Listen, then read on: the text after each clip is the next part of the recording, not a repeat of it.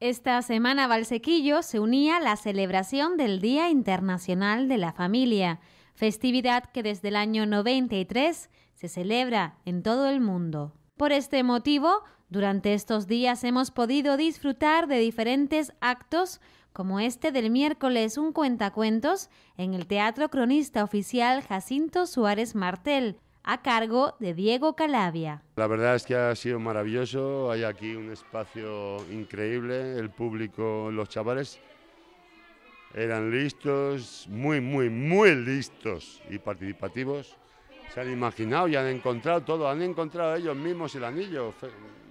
Esto es increíble, da gusto, da gusto con este tipo de público. Y si el miércoles la actividad estuvo dirigida a niños, el jueves los protagonistas fueron estos padres y madres, quienes asistieron a este taller que llevaba por título Déjame ser independiente, desarrollo de la autonomía.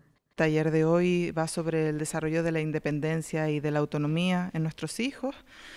Hablaremos eh, pues un poco de, eh, con una dinámica participativa, un poco partiendo de eh, las necesidades y del punto en el que estén los asistentes y las asistentas.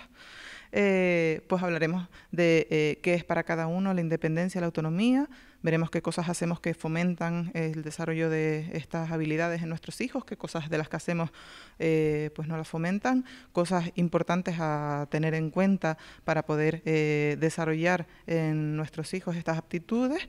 Y bueno, pues a partir de ahí la idea es que se puedan sacar cosas prácticas que se puedan aplicar en el día a día para poder hacer esto un poco más fácil. Los actos con motivo del Día Internacional de la Familia aún no han terminado. Este domingo todavía podremos disfrutar de un encuentro muy familiar con una excursión al área recreativa de Santa Cristina, ubicada entre Moya y Santa María de Guía, donde padres, madres e hijos pasarán un día inolvidable.